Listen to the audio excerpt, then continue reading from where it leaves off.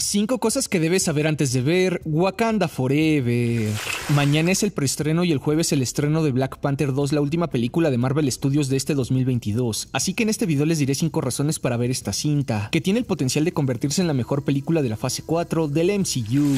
Wakanda Forever será la película más emotiva del UCM, así es como la describen los que ya han tenido la oportunidad de verla, y es que recordemos que esta película fue hecha como un homenaje al actor Chadwick Boseman, quien le diera vida a T'Challa pero que lamentablemente falleció en 2020.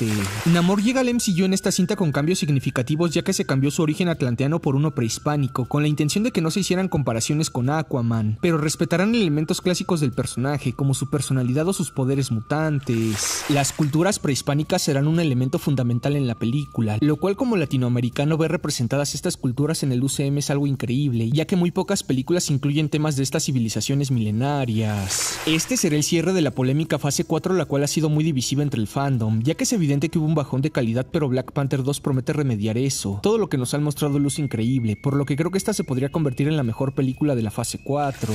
Shuri será la nueva Black Panther y aunque un sector del fandom quería Killmonger, poner a Shuri era la opción más obvia. Incluso en los cómics ella ha tomado el manto de Black Panther en algunas ocasiones, aunque hay rumores de que no sería la que lleve el manto de forma definitiva en el MCU, pero ya veremos. Recuerden que Black Panther 2 tendrá una duración de 2 horas con 41 minutos, convirtiéndose así en una de las películas más largas del MCU solo superada por Endgame. La cinta también presentará a Ironheart, así que cuéntenme, ¿qué esperan de esta cinta? Y si están emocionados, ¿creen que sea un buen cierre para la fase 4? Bye.